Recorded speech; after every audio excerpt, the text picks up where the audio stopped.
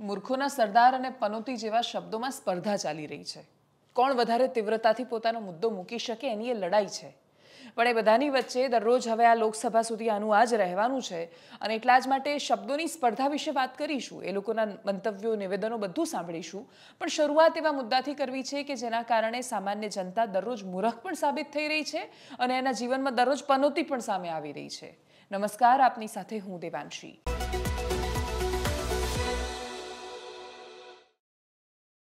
અમદાવાદના રિંગ રોડમાં ઓગણજની આજુબાજુનો જે વિસ્તાર છે, આખો રિંગ રોડ આમ તો ચર્ચામાં છે, ત્યાંથી તમે પસાર થઈ રહ્યા છો. અમદાવાદનું પાર્સિંગ નથી ખાસ એમાં પણ. જો રાતનો એમાં એ સમય છે, તો પોલીસનો તોડનો શિકાર તમે ગમે ત્યારે બની શકો છો. એના માટે જરૂરી નથી કે તમે કશું ખોટું જ કરતા હોવા જોઈએ, કેમ કે એટલું બધું એ તમારી પાસે માંગે, એમાંથી ગમે તે એક તમારી પાસે તાત્કાલિક હાજર ન હોય અથવા બીજી કોઈ દ્વિધા ઊભી થઈ હોય, એ કદાચ એ શક્ય છે. પણ પોલીસ માટે ઘણીવાર અવસર બની જાય છે. પોલીસના ઘણા બધા ચહેરાઓ છે. સરકાર જેમ ચંદ્રકાંત બક્ષી કહેતા ને કે સરકારને કરોડ મોઢા હોય છે, પણ એક આત્મા નથી હોતો. એમ ગુજરાત પોલીસના અને બાકીની પોલીસના ઘણા બધા ચહેરા છે. એમાંથી ઘણા બધા ચહેરા એવા છે કે જે બહુ સુંદર છે. બહુ સરસ ફટાફટ ઇન્વેસ્ટિગેટ કરી નાખે છે. આરોપીઓને ઝડપી દે છે. સામાન્ય માણસને સુરક્ષાની લાગણી થાય એના માટે સતત કામ કરે છે. દિવસ રાત કામ કરે છે. લોકોની અને ઉપરના અધિકારીઓથી લઈ નેતાઓની ગાળો ખાય અને તોય સતત કામ કરે છે. પણ બીજો એક ચહેરો પણ છે કે જે ચહેરો આપણને બધાને ખટકે એવો છે. એ પસંદ નથી. પણ છતાંય એ ચહેરો બદલાતો નથી. એને દરેક વખતે મજબૂરી સમજીને કેવી રીતે ઇગ્નોર કરવો અને એ છે તોડનો પૈ ચહેરો. પૈસા લેવા છે બસ બધી વાતમાં. અમદાવાદની મેચ દરમિયાન એક દિલ્હીના નાગરિકવાળી વાત તો તમે સાંભળી હશે. પત્રકારો વાત કરી રહ્યા હતા, અચાનક એ ભાઈ આવ્યા ને એમણે પોતાનું યુપીઆઈ ટ્રાન્ઝેક્શન બતાવ્યું એમના મોબાઈલમાં. એમણે કહ્યું કે વીસ હજાર રૂપિયા લઈને જતી રહી પોલીસ મારી પાસે. ગુજરાતમાં દારૂબંધી છે, ભાઈ દારૂ સાથે ફરતા હોય તો એમની સામે એક્શન લેવા જોઈએ અથવા બીજી કોઈ રીતે, કોઈ અલગ રીતે કાર્યવાહી થવી જોઈએ. વીસ હજાર રૂપિયાનો તોડ પોતાના પર્સનલ એકાઉન્ટમાં કરે, એ પોલીસની છવી પેલો માણસ લઈને શું જવાનો છે ત્યાં? એ વ્યક્તિ દિલ્હીથી અહીંયા મેચ જોવા માટે આવ્યો હતો. એ જે છવી લઈને ગયો છે, એ બહુ જ ભયાનક રીતે અસર કરવાની છે. ગુજરાતમાં જેમ એક ચહેરો સામે આવે, એમ બીજો ચહેરો પણ સામે આવતો હોય છે. એટલે પોલીસનો આ ચહેરો સામે આવ્યો તો બીજી બાજુ આઈપીએસ સફીન હસન આવ્યા, ડીસીપી છે, એમણે કહ્યું કે નહીં ભાઈ, આ તો નહીં ચલાવી લઈએ. એક્શન એમણે શરૂ કર્યા. એમણે કહ્યું કે ટીમ પહોંચી ગઈ છે દિલ્હી. એક્શન શરૂ કરી દઈશું, પેલા લોકોને સસ્પેન્ડ કરી દેવામાં આવ્યા. પણ ખાલી વીસ હજાર રૂપિયા કે કોઈની પાસેથી, પેલા કપલની પાસેથી રૂપિયા એંશી હજાર લીધા હતા, માત્ર વાત ત્યાં પૂરતી સીમિત નથી. એસીબીએ એક છટકું ગોઠવ્યું. છોટા હાથીમાં એ લોકો ત્યાં બેસીને ગયા અને ગયા તો સો રૂપિયાની લાંચ લેતો વ્યક્તિ પણ ઝડપાયો. હવે લાંચ સો રૂપિયાની હોય કે લાખ, એની તીવ્રતા અલગ અલગ હોય, એની અમાઉન્ટ સરખી હોય છે, પણ એ જે ગુનો છે, એની તીવ્રતા એનાથી ઓછી નથી થઈ જતી. એ જે માંગી લેવાની, તોડ કરી દેવાની, રૂપિયા લઈ લેવાની વૃત્તિ છે, એ બહુ જ મોટી અને ભયાનક રીતે અસર કરે છે. હવે ત્યાં ટીઆરબીના જવાન તમે મૂકતા નથી. ઘણી બધી જે ઘટનાઓ છે, એકબીજાને સાંકળતી છે. એક બાજુ ગુજરાત સરકાર ટીઆરબી જવાનોને એવો તર કાપીને એકસાથે હજારો માણસની નોકરી લઈ રહી છે, કે જેમાં એમનું કેવું છે કે તોડ કરે છે. પ્રશ્ન જે છે કે કોઈ સો રૂપિયાનો તોડ કરે છે તો એ ગુનેગાર અને લાખ કે કરોડ રૂપિયાનું કરે છે, તો એની સામે કોઈ ખાસ પગલાં ન લેવામાં આવે? મેક્સિમમ એમને સસ્પેન્ડ કરવામાં આવે, સરકારનો જવાબ આવે કે લોકોના રિક્રુટમેન્ટના નિયમો અલગ અલગ છે. આપણે ત્યાં જે ટીઆરબીના જવાનો છે ટીઆરબીના જવાનો કોન્ટ્રાક્ટ પર છે, પહેલેથી જ એમની નોકરી એ કરારના આધાર પર લેવામાં આવી હતી, પણ છેક સુધી એક્સટેન્શન મળતા ગયા. મળતા ગયા તો એ લોકોના મગજમાં પણ એવું થઈ ગયું કે અમે પરમનન્ટ છીએ અને એટલે જ હવે જ્યારે નોકરી લઈ લેવામાં આવી પાછી અને કોન્ટ્રાક્ટ રિન્યૂ કરવાની ના પાડી, નોકરી જતી રહી, તો એ લોકોને લાગે છે કે એમનો અધિકાર એમનાથી છીનવાઈ ગયો છે. ટીઆરબીની નોકરી કરતા કોઈ પણ ટીઆરબીના જવાન માટે એની નોકરી એનો અધિકાર નહોતી, કેમ કે લેતી વખતે જ કોન્ટ્રાક્ટ એમણે સાઇન કરેલો છે. પણ જે તર્કના આધારે એમને નોકરીમાંથી કાઢવામાં આવી રહ્યા છે તો ગજબ છે. કેમ કે તમે એવું કહી રહ્યા છો કે કરપ્શન કરે છે એટલે તમે એમને હટાવી રહ્યા છો, તો આપણા દેશમાં લઘુત્તમ વેતન ચારસો ને સિત્તેર રૂપિયા છે. કે કોઈ વ્યક્તિ આખો દિવસ કામ કરે છે, તો એને મિનિમમ ચારસો સિત્તેર રૂપિયાનું વેતન મળવું જોઈએ. ટીઆરબીના જવાનોને ત્રણસો રૂપિયાનો રોજ અપાતો હતો. જે કડિયાને મજૂર જતા હોય છે, એ લોકો આમનાથી ખાસ્સું કમાય છે. એના સિવાયનો કોઈ પણ વ્યક્તિ જે મજૂરી કરે છે, એમના કરતાં લાખ ઘણું કમાય છે અને છતાંય આ લોકોની હાલત એટલી ખરાબ કે એ લોકોનો સત્યાવીસ દિવસ મહિનાના કામ કર્યા પછી આઠ હજાર ચારસો રૂપિયા પગાર માંડ થતો હોય. અમદાવાદ જેવા શહેરમાં નોકરી હોય, આખો દિવસ લોકોની સાથે કજિયા કરવાના હોય અને તમે એવી અપેક્ષા રાખો છો કે આઠ હજાર ને ચારસો રૂપિયામાં એ લોકોનું જીવન બહુ સારી રીતે ચાલવાનું છે? તો કદાચ જેણે નક્કી કર્યું છે કોન્ટ્રાક્ટ એ લોકો કોઈ દિવસ બજારમાં દૂધ લેવા, શાક લેવા કે તેલ લેવા જતા નહીં હોય. એમને ખબર જ નથી કે માર્કેટ કેવી રીતે ચાલી રહ્યું છે. એમને ખબર જ નથી કે બજારમાં મળતી ચીજ વસ્તુઓના ભાવ કેટલા છે. અને એટલે જો તમે એવી અપેક્ષા રાખો છો કે આઠ હજાર રૂપિયામાં લોકો સરસ મજાના રાજા હરિશ્ચંદ્ર બનીને સત્યના નિયમોના આધાર પર કામ કરવાના છે, તો એ તર્ક સાવ ખોટો છે. એ લોકોનો પગાર વધારવાની ખાસા સમયથી જરૂરિયાત હતી. અનફોર્ચ્યુનેટલી કોન્ટ્રાક્ટ પર છે અને એટલે જ કરાર નામના દૂષણ આગળ કોઈ અવાજ ઉઠાવતું નથી. એ લોકોનો અવાજ પણ કોઈ બન્યું નહીં. હવે એ લોકોની નોકરી ગઈ છે. જે લોકો નવા લેવાના છે, એ લોકો પણ આઠ હજાર ચારસોના પગારમાં જ લેવાશે. તો આગળ જતાં દૂષણ હટી જશે એ વાતનો કોઈ તર્ક નથી. પ્રશ્ન એ છે કે ખાલી ભૂખ્યું પેટ જ ચોરી કરાવે છે તો એનો જવાબ ના છે. ભૂખ્યા પેટે ચોરી તો ઘણીવાર જસ્ટિફાઈ પણ થઈ જાય છે. કોઈ સંજોગોમાં ન થવી જોઈએ, અન્ય રસ્તાઓ હોવા જોઈએ તો પણ ભૂખ સૌથી ભૂંડી છે, સૌથી ખરાબ છે. એ તમારી પાસે કોઈ પણ કામ કરાવે છે. આ દેશનો અને દુનિયાનો ઇતિહાસ આજ કહેતો આવ્યો છે. માણસનો ઇતિહાસ આ કહેતો આવ્યો છે અને એટલે જ ગમે તેટલી ભૂંડી ભૂખ હોય અને છતાંય ચોરીને સમર્થન અમે નથી કરતા. પણ વસ્તુ શું છે કે જેના પેટ ભરેલા છે એ લોકો શું કામ ચોરી કરે છે? જેનો પગાર પચીસ, ત્રીસ, પચાસ હજાર લાખ રૂપિયાથી ઘણો બધો છે. એ લોકો શું કામ ચોરી કરે છે?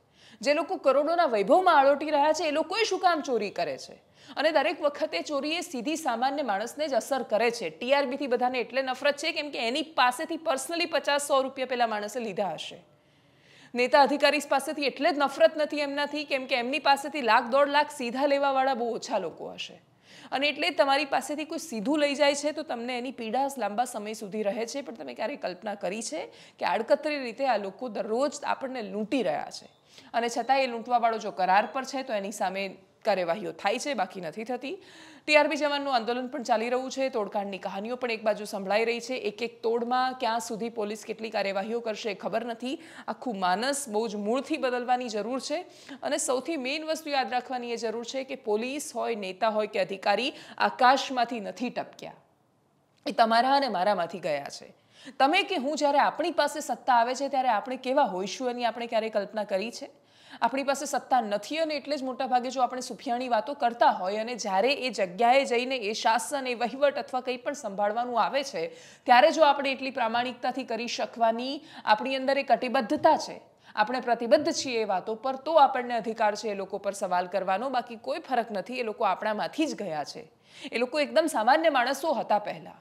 એના પછી એ લોકો ત્યાં પહોંચ્યા અને ત્યાં પહોંચ્યા પછી સિસ્ટમમાં ટેવાયા અને એ સિસ્ટમ તમે ને મેં બનાવેલી છે. એ સિસ્ટમ એ સમાજ બધું આપણે બનાવી રહ્યા છીએ અને એટલે જ આ અતિશય ગંભીર પ્રશ્ન છે અને એના પર એટલી ગંભીરતાથી ટીઆરબી જવાનના આંદોલન પૂરતો નહીં. ઓલ ઓવર જો ગંભીરતાથી એના પર વિચાર નહીં થાય, તો આપણે એ જ સમાજ બનાવીશું, એ જ માનસ બનાવીશું જેની સામે અત્યારે આપણે બોલી રહ્યા છીએ. કેમ કે આજે અહીંયા છીએ તો બોલીએ છીએ, સામેની બાજુ જઈશું તો ત્યાં જઈને એ જ કરવાનું છે. તો પછી કોઈ મતલબ નથી આ બધી વાતો કરવાનો. ટીઆરબી જવાનના આંદોલનમાં અમદાવાદની કલેક્ટર કચેરી ખાતે એમણે વિરોધ પ્રદર્શન ધરણા કર્યા. યુવરાજસિંહ જાડેજાએ સમર્થન આપ્યું એની પહેલાં મહિપતસિંહ ચૌહાણ પાસે પણ એ લોકો પહોંચ્યા હતા.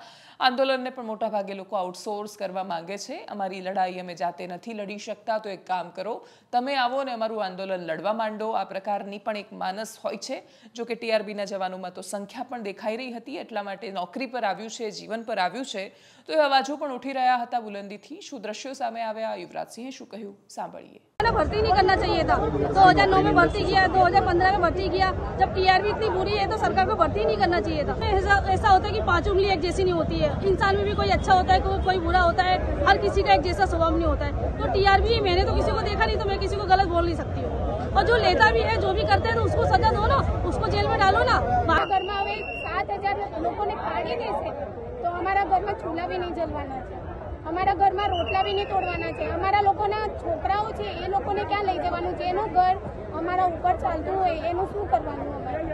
અમે લોકો કઈ જઈ પણ નહીં શકતા. અમારી ઉંમર એટલી થઈ ગઈ છે. હવે અમારા ઉંમરમાં અમને લોકોને કોઈ નોકરી પણ નહીં. પેટનો ખાડો હોય છે ને, જેટલું તમને ત્રણ રોટલી ખાવા જોઈએ ને, એક રોટલી આપે, તો બે રોટલી બહાર ગોતવા જવું.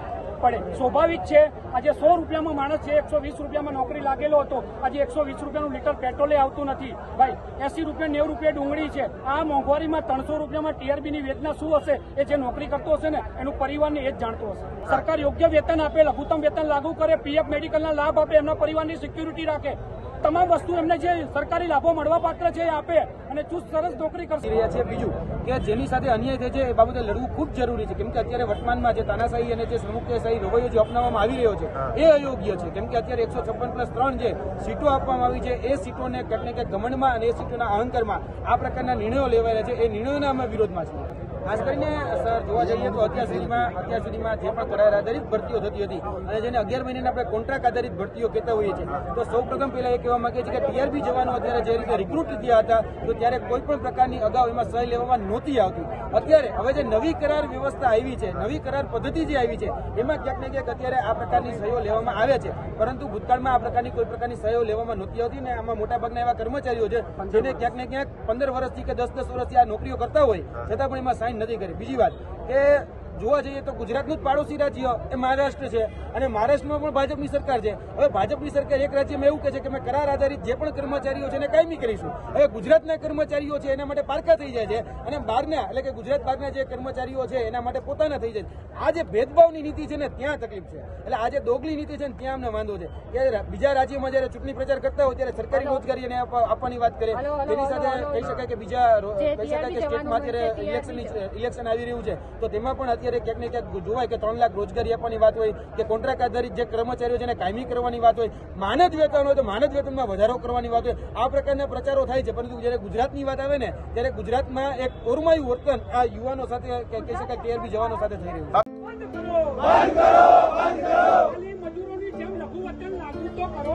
લાગુ કરો લાગુ કરો. ખાલી મજૂરોના કારખાનાની જેમ લઘુત્તમ વેતન તો લાગુ કરો. લાગુ કરો લાગુ કરો.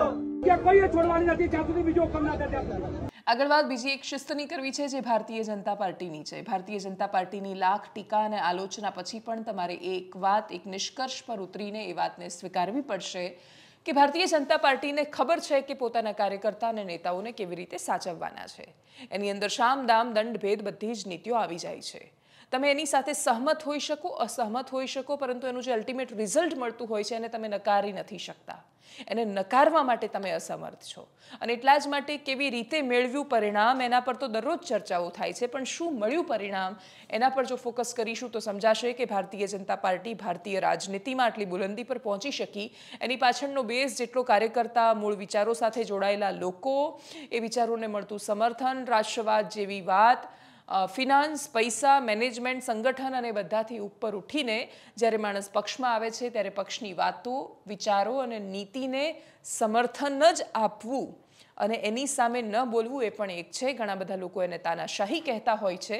ભારતીય જનતા પાર્ટી અને ડિસિપ્લિન કહે છે અને એ ડિસિપ્લિનનું ઉદાહરણ ભારતીય જનતા પાર્ટીના ગુજરાતના પ્રદેશ પ્રમુખ સી આર પાટીલ અલ્પેશ ઠાકોરને સંભળાવી રહ્યા હતા. ગાંધીનગરથી ધારાસભ્ય છે, સ્નેહ મિલન સમારોહ હતો.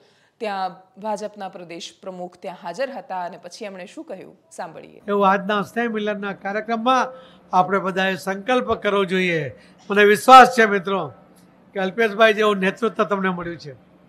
જે દીર્ઘદ્રષ્ટા પણ છે, સાથે સાથે મજબૂત પણ છે. એના વધારે મજબૂત છે. હસતા નથી તમે, આટલા ડરો છો કેમ? છે કે નહીં? પણ હવે ભારતીય જનતા પાર્ટીમાં આવ્યા પછી એમનામાં શિસ્ત બી આવી ગઈ છે. હું સતત ધ્યાન આપતો હોઉં છું. અને આ તો ભારતીય જનતા પાર્ટી છે, શિસ્તમાં રહેવું જ પડે. અને મને આનંદ છે કે અલ્પેશભાઈએ ભારતીય જનતા પાર્ટીમાં પ્રવેશ કર્યા પછી ભારતીય જનતા પાર્ટીના કાર્યકર્તાઓને પણ સ્વીકાર્યા. ભારતીય જનતા પાર્ટીના કાર્યકર્તાને મતદારોએ પણ એમને સ્વીકાર્યા. અને ખરેખર આજે સ્નેહ મિલનમાં એક સ્નેહભર્યું વાતાવરણ તમે અહીં નિર્માણ કર્યું. એના માટે આપ સૌને અભિનંદન સાથે મારી વાતને વિરામ આપું છું. જય જય કરી ગુજરાત. અલ્પેશ ઠાકોરની રાજનીતિ બહુ રસપ્રદ રહી છે, પણ એ રસપ્રદ રાજનીતિમાં નસીબદાર બહુ રહ્યા છે. એટલા માટે કેમ કે કોંગ્રેસના જે સૌથી દિગ્ગજ નેતા મનાય રાહુલ ગાંધી જ્યારે એમની સભામાં એમના કહેવા પર આવતા હોય હજારો માણસો એ ભેગા કરી શકતા હોય અને પછી રાહુલ ગાંધી સમર્થન આપતા હોય કે પછી ભાજપમાં આવ્યા પછી સી આર પાટીલનો હાથ એમના માથે રહેતો હોય તો એવું સમજવું કે રાજનીતિનું જે લક છે એ લક એમની સાથે છે. બસ ખાલી એક લીલી પેનનું લક એમના ભાગ્યમાં છેક સુધી કેમ નથી પહોંચતું એ ખબર નથી. એમની એને આકાંક્ષા પણ છે એમને અને એ આકાંક્ષા એમની પૂરી નથી થઈ પણ એ સિવાય એમનું જે પોલિટિકલ ડેસ્ટિની છે બહુ બ્યુટિફુલ રહી છે. આગળ વાત એવા વિષયની કરવી છે કે જે આમ જોવા જઈએ તો દરેક માણસના રોજિંદા જીવનમાં અસર કરે છે. ગોધરાનું મહાકાળી ટી સેન્ટર બહુ જાણીતું છે. ફૂડ એન્ડ ડ્રગ્સ વિભાગે એના પર દરોડા કર્યા. એમની પાસે પ્રાથમિક માહિતી એવી હતી કે નશાવાળી ચા પીવડાવવામાં આવે છે. તમારી સાથે એવું થયું છે કે તમે બહાર કોઈ ગલ્લા પર ચા પીતા હોય અને પછી એ ટી સ્ટોલની તમને લત લાગી જાય. તમને એવું થાય કે નહીં, યાર, ચા તો અહીંયાની જ, ઘરની ચા પણ ન ભાવે. એટલું સરસ લાગે તો એની પાછળ વન ઓફ ધ રીઝન એમ. કદાચ એવું હોઈ શકે કે ચા ખરેખર સારી હોય, પણ મોટાભાગના સંજોગોમાં એ ચામાં નશો ભેળવવામાં આવે છે. એવો નશો કે જેની તમને લત લાગી જાય છે. તમે એડિક્ટેડ થઈ જાઓ છો અને તમને લાગે છે કે એના જેવી ચા ક્યાંય ન હોઈ શકે, ભલે એ એકની એક ચા ઉકાળીને આપતા હોય, ખરાબ તપેલામાં આપતા હોય, તમારી આંખો સામે તમે બધું જ હાઇજીન વગરની વસ્તુઓ જોતા હોય ને તમને છતાંય એની ચા બહુ જ ભાવે. એનું કારણ એ નશો હોય છે. હવે કયું નશો શું હતું એની અંદર દ્રવ્ય એના માટે એમણે વડોદરા સેમ્પલ મોકલી દીધા છે. આવશે ત્યારે ખબર પડશે, પરંતુ આ મોટા ભાગના શહેરોમાં, નાના નગરોથી માંડીને મોટા શહેરોમાં આ સમસ્યા છે. માણસ બહાર નીકળે છે, નોકરી કરતો માણસ સવારે નીકળે ત્યારે રસ્તામાં એને ચા પીવાની ટેવ હોય છે. હવે એના ભાગમાં તો એ ચા જ આવે છે. એ ચા જ એફોર્ડ કરી શકે છે અને ચા જ પોસાય એવી હોય છે. હવે એને પોસાતી ચામાંય જો તમે નશો નાખી દેશો, એમાંય બધું આવી રીતે નકલી અને બેફામ ઉમેરી દેશો, તો તમે સામાન્ય માણસના જીવન સાથે કેવા ભયાનક ચેડા કરી રહ્યા છો? આ લોકોને ક્યારે શરમ નહીં આવતી હોય? એ લોકો ભલે લાખોમાં આળોટતા થઈ જાય પણ છતાં એમના મનને સંતોષ મળતો હશે? એ લોકોને ક્યારે એવો વિચાર આવતો હશે કે સામાન્ય માણસના જીવન સ્તરને ઘટાડીને, એની તંદુરસ્તીના શવ પર ઉપર ચડીને એ લોકો પોતાના પગથિયા બનાવી રહ્યા છે? આ લોકોના મને રાક્ષસનામાં કોઈ ફરક જ નથી. આ લોકો સામાન્ય માણસ અને સામાન્ય સમાજને લાયક જ નથી. જે લોકો ખવડાવવા પીવડાવવામાં ઝેર આપે એમનાથી ખરાબ કયા હોઈ શકે? પણ છતાંય બેફામ ચાલી રહ્યું છે. એક બાજુ આપણી જ સંસ્કૃતિ છે કે આપણે મફતમાં અને બની શકે એટલું આપણે દાન કરીને સારામાં સારું જમાડવાની કોશિશ કરીએ છીએ. એવા અનેક માણસો છે કે જે પોતાનો સમય અને પોતાનું, પોતાની સંપત્તિ બંને આપીને માણસને સારું જમાડવાની કોશિશ કરે છે. અને બીજી બાજુ આવા લોકો છે કે પૈસા લઈને પછી આપે છે અને એમાંય આવી રીતે ચોરી કરે છે. છેલ્લે બાદ ભારતીય રાજનીતિની કરી દઈએ એવા વિષયો કે જે હવે છેક સુધી ચર્ચામાં રહેવાના છે એટલા જ માટે એને છેલ્લે લીધો છે. પણ એ છે બહુ જ મહત્વનો. રાજસ્થાનની કે છત્તીસગઢ કે મધ્યપ્રદેશ કે રાજ્યોની બાકીની ચૂંટણી પૂરતો સીમિત નથી. લોકસભાની ચૂંટણીનું આહવાન છે. એક સેટ તૈયાર થઈ રહ્યું છે. એ સેટમાં પાંચ રાજ્યોના પરિણામો, આત્મવિશ્વાસમાં વધારો, ઘટાડો કરવાના છે. એના સિવાય બીજી કોઈ ખાસ અસર નથી થવાની. લોકસભા માટે ઝાઝમ બિછાવી રહ્યા છે નેતાઓ. મુદ્દા મૂકી રહ્યા છે. પણ કયા મુદ્દાઓ? તો પ્રધાનમંત્રી મોદી રાહુલ ગાંધીને મૂર્ખોના સરદાર કહી રહ્યા છે. તો રાહુલ ગાંધી આડકતરી રીતે પનોતી કહી રહ્યા છે. હવે આ પનોતી અને મૂર્ખોના સરદારની લડાઈમાં એક પણ જ્યારે સીધી રીતે નામ લીધા વગર કહે છે, ત્યારે દિગ્વિજયસિંહ આવીને એવો જવાબ આપે છે કે ભાજપના નેતાઓએ પીએમને શું કામ પનોતી સમજી લીધા? એમણે તો જનરલ પનોતી કહ્યું હતું. હકીકત એ છે કે બધાને ખબર છે કોણ કોના માટે વાત કરતું હોય છે. કાયદાની ચુંગાલમાંથી બચવા માટે એ લોકો સીધો પ્રહાર નથી કરતા. પણ આ બધી જે લડાઈઓ છે એ બતાવે છે કે એક પણ રાજનેતાને બેઝિકલી એટલો બધો એટલા માટે આ બાકી બધી વાતોમાં રસ નથી. કેમ કે એમને ખબર છે કે જનતાને રસ નથી. જનતાની સૌથી વધારે તાળીઓ ક્યારે પડે છે? જ્યારે અકબરુદ્દીન ઓવેસી બેફામ ભાષણ હૈદરાબાદમાં આપે છે અથવા કોઈ પોલીસ ઇન્સ્પેક્ટરને લતાડી નાખે છે. જનતા બેફામ ક્યારે તાળીઓ પાડે છે? જ્યારે એને એ રીતે ઉકસાવવામાં આવે કે પ્રોત્સાહન આપવામાં આવે કે ધાર્મિક ઉત્તેજનાના ભાષણો આપવામાં આવે? અને કાં તો જનતા ક્યારેય તાળીઓ પાડે છે બેફામ રીતે? જ્યારે સામેવાળા નેતાને બની શકે એટલી નીચલી ભાષામાં એમના વિશે શબ્દો વાપરવામાં આવે? એ જ થઈ રહ્યું છે ભારતીય રાજનીતિમાં. અલગ તસવીર છે, કેટલાય વર્ષોથી ચાલતી આવેલી તસવીર છે, પરંતુ એ તસવીર હવે સુધરશે એવી કોઈ જ ખાસ અપેક્ષાઓ નથી. સાંભળીએ પ્રધાનમંત્રી મોદી, રાહુલ ગાંધી બંનેને. एक महाज्ञानी कांग्रेस के कह रहे थे कि आप सबके पास made in China mobile phone होता है। अरे मूर्खों के सरदार। किस दुनिया में रहते हैं लोग? कांग्रेस के नेताओं को अपने देश की उपलब्धियाँ न देखने की मानसिक बीमारी हो गई है। याद है हाँ क्या? पनौती पनौती पनौती वो अच्छा भला अच्छा भला वहाँ पे अच्छा भला हमारे लड़के वहाँ पे वर्ल्ड कप जीत जाते। वो वहाँ पे पनौती हरवा दिया। टीवी वाले ये नहीं कहेंगे। टीवी वाले ये नहीं कहेंगे, मगर जनता जानती है।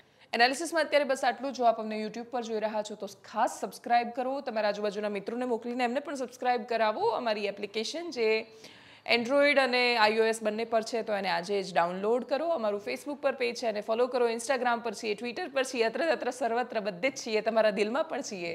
અને એટલે જ અમને આવકારો, સ્વીકારો અને પ્રેમ આપો. નમસ્કાર.